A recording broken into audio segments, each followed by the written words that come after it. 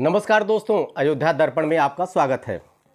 जैसा कि आदेशा पहले से लगाया जा रहा था, जैसी कि संभावनाएँ पहले से थी कि ज्योति मौर्य और आलोक मौर्य प्रकरण पर आज चूँकि 26 अक्टूबर आज है, आज के दिन पेशी थी और आज भी दोनों लोग कोर्ट में पेश नहीं हुए। हालाँकि इलाहाबाद हाई कोर्ट में आज हड़ताल थी वकीलों की।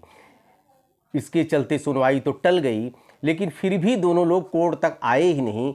दोनों तरफ़ के वकीलों ने हाजिरी माफ़ी लगाई और 6 दिसंबर की तिथि फिर नियत कर गई। लेकिन एक बात ये समझ में नहीं आ रहा है कि करीब तीन चार डेट से बराबर न आलोक आ रहे न ज्योति आ रही, न आलोक आ रहे, न ज्योति आ रही है। केस को बड़ी लापरवाही से लड़ना इस तरह से मुकदमेबाजी नहीं होती। जैसा कि पहले बताया जा चुका है आपको कि आलोक मौर्य ने सारी शिकायतों को जो ज्योति मौर्य के खिलाफ उन्होंने भ्रष्टाचार के लिए किया था, सारी शिकायतों को उन्होंने वापस ले लिया, वो भी बिना शर्त, बिना किसी शिका, शिकायत के, बिना किसी दबाव के। तो ऐसा लगता था कि शायद ज्योति मौर्य भी अपने मुकदमे को वापस ले लेगी। और जो तलाक का केस, आज सुनवाई नहीं हो पाई फ़िलहाल, और फिर दिसंबर छः दिसंबर को डेट लग गई है, लेकिन दोनों के वकीलों ने हाजिरी माफ़ी लगाया है। इसका मतलब ये है, मुकदमा अभी पूरी तरह ज़िंदा है। लेकिन दोनों को कोर्ट में ना आने से एक ये संभावना जो व्यक्त की जा रही थी कि दोनों में सुलह सुलह समझौते के आसार बढ़ गए हैं क्योंकि अब उतना ज्योति मौर्य भी एग्रेसिव नहीं है। क्योंकि बीच में जो मध्यस्थता लोगों ने की, महिला विकास मंच की बीना बीना मानवी जी आई, सुप्रीम कोर्ट के अधिवक्ता एपीसी साहब जो कि इनकी पैरवी कर रहे थे, आलोक मौर्य की वो भी मिलने आए। और सबसे जो कि बड़े अच्छे वातावरण में जो बातचीत हुई, उससे लग रहा है कि दोनों के बीच में सुलह समझौते के आसार बढ़ गए हैं और और मुकदमे की पेशी पे ना आना, इसका तो प्रत्यक्ष प्रमाण है। ऐसे जैसा कि कानून ये कहता है कि बराबर निरंतर तीन चार पेशी अगर दोनों लोग नहीं आएँगे, वकील भी आना बंद कर देंगे तो केस अपने आप खारिज कर दिया जाएगा। लेकिन वही होता ना कि बात इतनी आगे बढ़ गई थी। अब चूँकि ज्योति मौर्य एक एडमिनिस्ट्रेटिव ऑफिसर है, जब बात बहुत आगे बढ़ जाती है तो पीछे आने में बड़ी शर्म आती है। धीरे धीरे करके मामले को ठंडा किया जाता है। मीडिया ने तो वैसे बाउंडर मचा दिया कि तो खैर, कुछ भी हो, बन गए बहुत लोग, कितने आल्हा गायक, बिरहा गायक, कजरी गायक, इतनी गाने बने ज्योति मौर्य पर कि दुकान तो लोगों की खूब चमकी। सोशल मीडिया पर लोगों ने बहुत अच्छा पैसा कमाया। पता नहीं ले कितने लोगों का चैनल जो चल नहीं रहा था वो चल गया। तो ज्योति मौर्य का इतना तो योगदान है ही है, लेकिन ये कहा जा सकता है, हम भी उम्मीद करें, आप लोग भी प्रार्थना करें कि इन दोनों की बात बन जाए, क्योंकि देश का, प्रदेश का वैसो भी बहुत बड़ा नुकसान ज्योति मौर्य ने किया है।